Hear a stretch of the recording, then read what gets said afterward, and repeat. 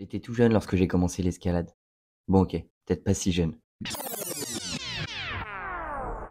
Même si je grimpe aux arbres et partout où je peux depuis que je suis petit, c'est au collège que je découvris vraiment l'escalade. Après un semestre, mon prof de sport me suggéra de m'inscrire à l'assaut de l'école. Dès la première année, je fis les championnats départementaux, régionaux et France. Un départ sur les chapeaux de roue. Puis je m'inscrivis en club deux années, mais après la mort de mon prof d'escalade et d'autres choses comme les occupations d'un ado au lycée, j'arrêta l'escalade après un 20 au bac de sport et ne repris pas avant de longues années.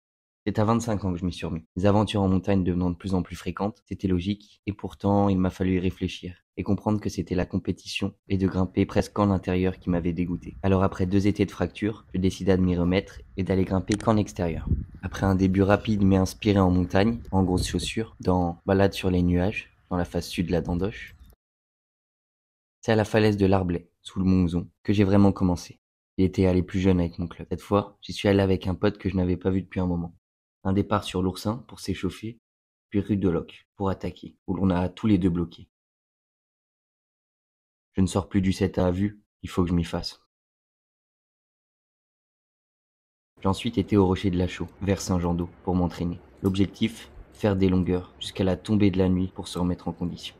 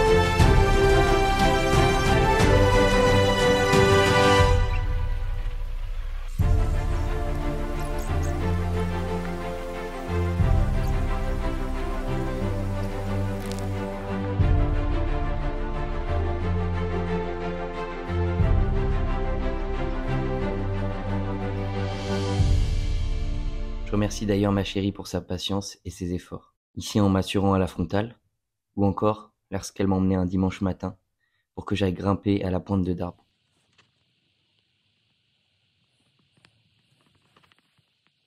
Attention, c'est dangereux et je ne le recommande pas.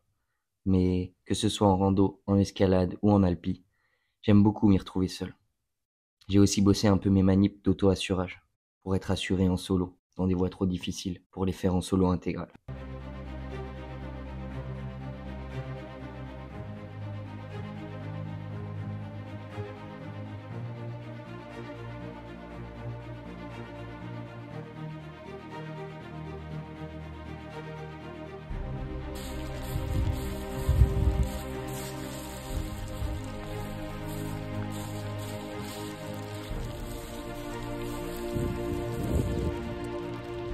Après ces entraînements solo, j'ai fait une sortie avec Matt et Quentin pour qu'ils reprennent les bases avant de faire de l'alpi et qu'on découvre ce spot magnifique de la dent du vélo.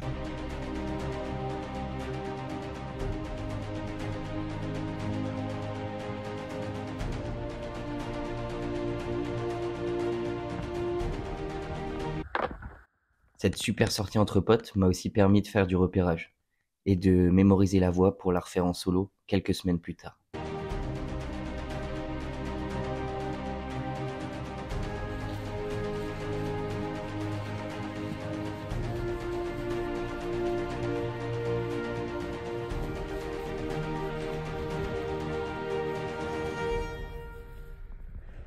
Vous laisse découvrir ça à travers la vidéo là-dedans sur la chaîne Diogène.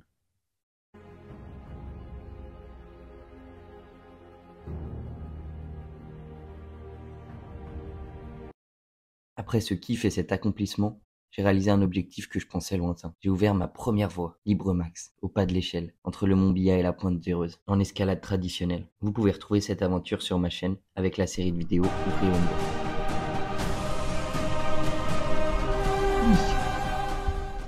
Enfin, avec un pote que je connais depuis moins longtemps mais que j'apprécie beaucoup, Raph, on allé grimper à la falaise de Porte. Bien content, on décida plus tard de partir en week-end, trois jours à Séuse.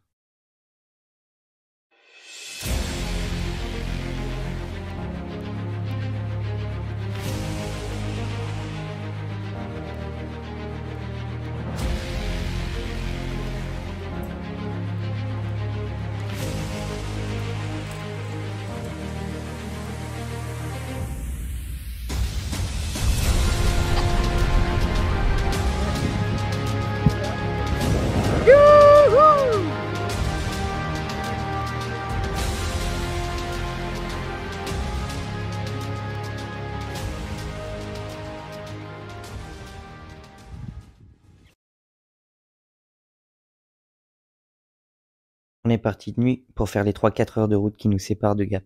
J'en ai profité pour dormir une bonne heure, car j'ai une grosse semaine. Ça a commencé lundi par une nuit blanche, tellement j'étais impatient de... Ah bah non, je vous garde cette surprise pour l'épisode 4. Bref, après 39 heures sans dormir, j'ai eu une courte nuit, puis du babysitting, et me voilà avec 15 heures de sommeil en 4 jours. Mais dès qu'on a commencé à apercevoir la montagne de Séuse et ses falaises, l'excitation a pris la place de la fatigue. Avec Raph et Laurent, on était comme des gamins. On ne peut pas s'y tromper. Avec sa falaise perchée au sommet, large de plusieurs kilomètres, qui ressemble à un diadème, c'est un bijou dédié à l'escalade. La mecque de la grimpe, comme j'ai pu l'entendre. Et bien qu'il existe d'autres falaises majeures, Céuse reste un lieu mythique. D'abord de par son cadre. C'est une zone classée Natura 2000 pour sa faune et sa flore, que l'on a bien le temps de découvrir lors de la marche d'approche. Un bon trois quarts d'heure qui se mérite avec le matos sur le dos. Mais il faut bien ça pour gagner cette vue magnifique sur la plaine de Gap et les Hautes-Alpes. Et bien sûr, le pied des voies, plusieurs centaines répartis sur 14 secteurs. On est arrivé par les secteurs Berlin et Biographie, qui sont sûrement les deux secteurs les plus durs de Céuse. Berlin, où les premières voies ont été équipées par la légende Edlinger en 85, qui a repoussé son trip aux États-Unis lorsqu'il a découvert Céuse. Puis par Eric Fossard en 89, avec ses murs en dévers et de petites prises. C'est un secteur sérieux qui va du 6 au 9. Le secteur Biographie, lui, est le plus mythique notamment grâce à sa voix du même nom, Biographie, équipée en 89 par Jean-Christophe Lafaille, autre légende. Mais ici à Gap, il a réalisé à Céuse un 7C+, en solo intégral, le privilège du serpent, la même année en 89. Revenons-en à Biographie. Elle ne fut réalisée qu'en 2001 par Chris Sharma, et devint alors le premier 9A+, du monde, jusqu'à ce qu'en 2008, Adam Mondra recote 9A+, open air en Autriche, qu'Alexandre Dubber avait coté 9A lorsqu'il l'avait grimpé en 96. À noter qu'Arnaud Petit a réalisé aussi en 96 la première moitié de biographie. Et ce même Arnaud Petit a grimpé en 2011, quelques voies plus à droite, dans ce même secteur, Black Bean, sur Coinceur, Chapeau. Pour finir sur ce secteur, biographie, Alex Megos enchaîne en 2020 la voie bibliographie, alors le deuxième 9C du monde et qui sera ensuite décoté 9B+, par Stefano Ghisolfi, des codes confirmés par Megos. Ce secteur élitiste, du 7 au 9, est le rendez-vous des légendes. On est ensuite passé devant le secteur Face de Rat, qui abrite une autre voie mythique. Équipée en 2012 par Chris Sharma, elle resta en projet et fut un gros os à ronger pour les meilleurs grimpeurs du monde depuis 10 ans, jusqu'il y a 3 mois, avant notre séjour, où Alex Megos libéra enfin Radstaman Vibration, côté 9B. Plus modeste et conscient de notre niveau, on est parti s'échauffer dans le secteur plein sud. Bye.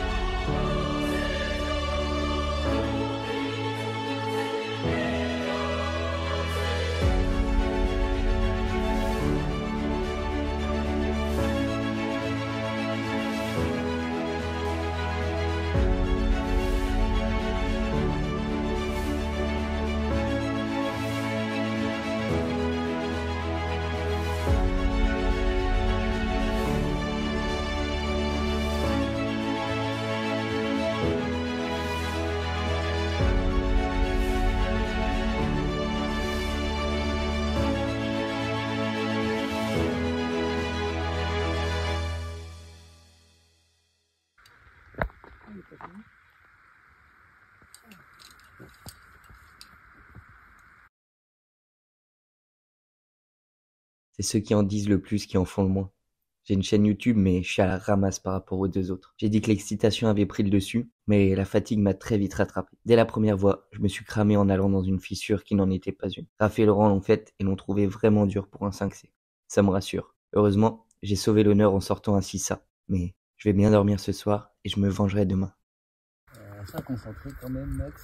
Il y a tellement d'irrégularités que tu vois beaucoup de prises. Raph, lui, était fidèle à lui-même. Calme, concentré et pleinement investi dans la grimpe. Appliqué sur ses placements, il a sorti deux 7 et un 6B+. Et surtout, il a été bienveillant et encourageant. Oh Max, ton main droite, les écailles elle est meilleure. Prends ton temps pour regarder là, posé. Ton pied, mets-le à droite, ton pied droit. Voilà. Allez, Ouais allez, allez Laurent. Ah c'est dur là hein Allez Laurent Reste concentré Joli, allez. Allez, continue Laurent. Allez, allez. Enfin, Laurent, que j'ai rencontré ce jour-là, est attentif et observateur. Passionné, c'est un puits de savoir lorsqu'on parle d'escalade. Et à son âge, il grimpe dans le dur et vraiment bien. Putain, eh, c'est finaux là. hein. Bah ouais, je vois. Allez, prends ton temps. Regarde tes pieds. Yes, c'est- bien, c'est bien. Ouais, mais déjà là, t'as des. Apparemment, il y a du placement à faire là. hein. Ah, c'est du là, en bas là, c'est c'est du placement Laurent, tu vas bien limer. Ok, joli. Ouais, c'était beau ça. Faut que du tout. Ouais, bien joué. Joli Laurent. Un petit setup flashé. Euh, J'ai pu gérer quoi. Ouais. Joli. C'est pas au vieux singe à qui on apprend à faire la grimace. hein. Non, bravo. Ouais, joli Laurent. C'est chaud. Sinon, la journée, ça a aussi été ça.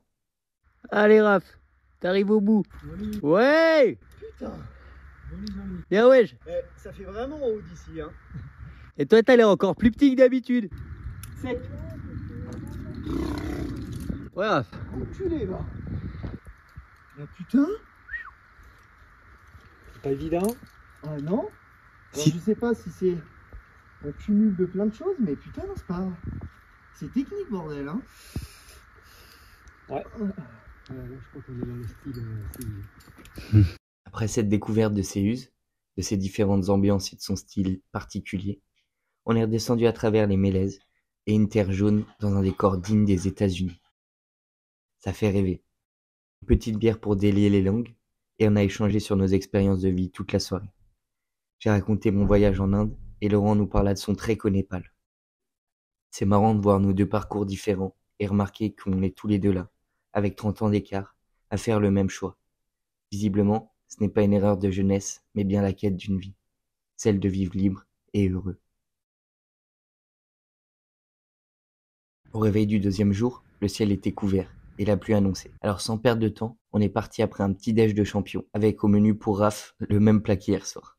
Au deuxième parking, cette fois, s'élançant dans la marche d'approche, une dame nous lança un bon courage, en voyant la taille de nos sacs. Et c'est vrai qu'il en faut. On a beau l'avoir faite hier, cette marche d'approche est physique et peut vite vous casser.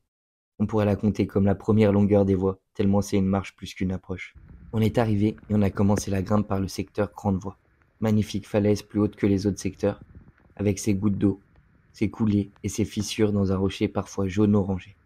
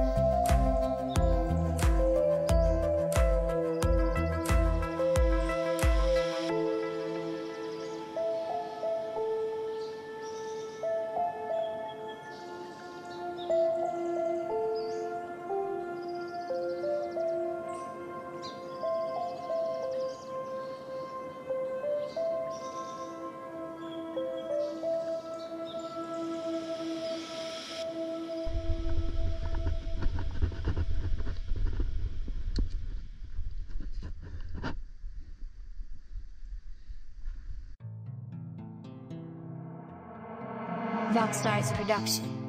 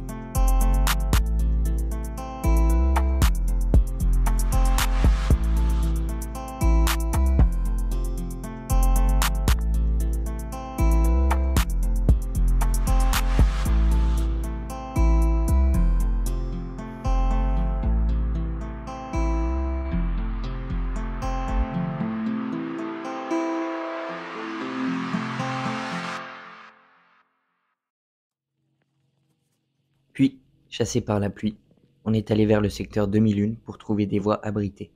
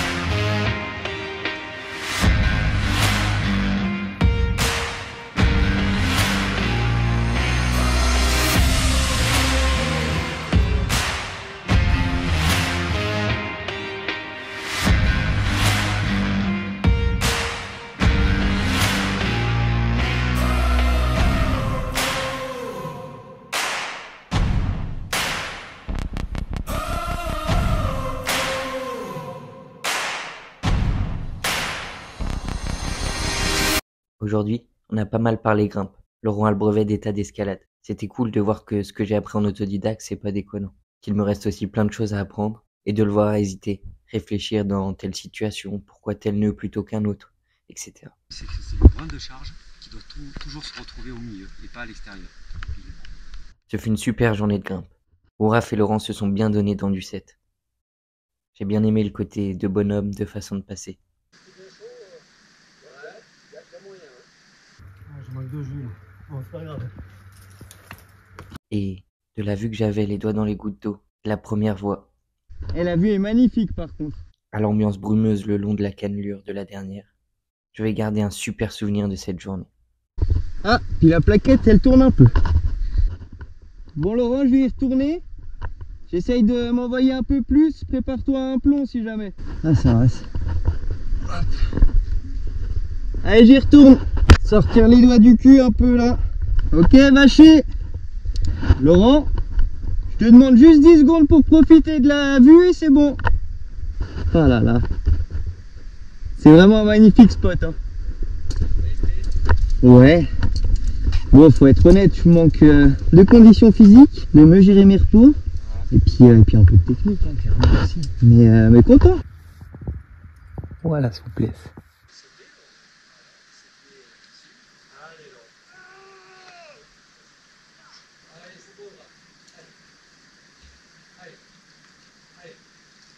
Puis, même si l'on s'est trompé de chemin et qu'on a fait une longue marche pour redescendre sous la pluie, notre départ de la falaise a été magique. La pluie chassant la fréquentation humaine, les animaux en profitent pour sortir. Après avoir partagé le pied de la falaise avec une perdrix batravelle, croisé deux chamois, ce sont neuf salamandres qu'on a rencontrés sur le chemin. Je crois que je n'aurais jamais autant vu de salamandres de ma vie.